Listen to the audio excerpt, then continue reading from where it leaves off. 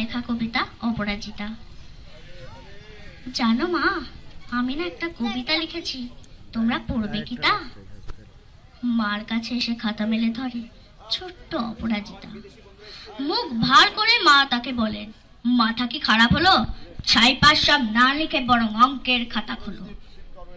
মুখ ভার করে গুটি গুটি পায়ে গেল সে বাবার কাছে। ও বাবা কবিতা লিখেছি দেখার সময় আছে? মুখটি না তুলে বললেন, বাবা, কবিতা লিখেছ? বেশ, পড়ব তো বটেই। আগে খবরের কাগজটা করি শেষ। অগত্যা গেল দিদিটির কাছে। ডাকলো সে, দিদি, আয়। দেখ না, কেমন ছবিটা এঁকেছি, ছোট্ট এই কবিতায়। দিদির দু চোখে টিভি পর্দার ঝলমলে রোষ নাই। বলল, কবিতা, তুই লিখেছিস? কবিতা না ওটা ছাই।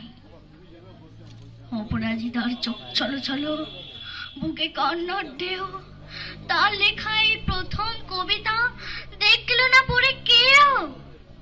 একা ঘরে বসে সামনে তাকালো, মালাতে সাজানো ছবি।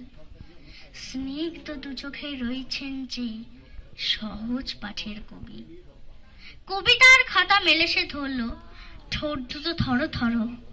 বলল, ঠাকুর কেউ না পড়ুক তুমি এই কবিতা পড়ো। কি জানি কি করে কি যে হয়ে গেল এই কথার সাথে সাথে রবি ঠাকুরের মালা থেকে ফুল ঝরল সে খাতা তাতে মনে হলো যেন তার সামনে দাঁড়িয়ে বুঝি রবীন্দ্রনাথ। মাথার উপরে রাখলেন তার। আদর মাখানো হাত। Thank you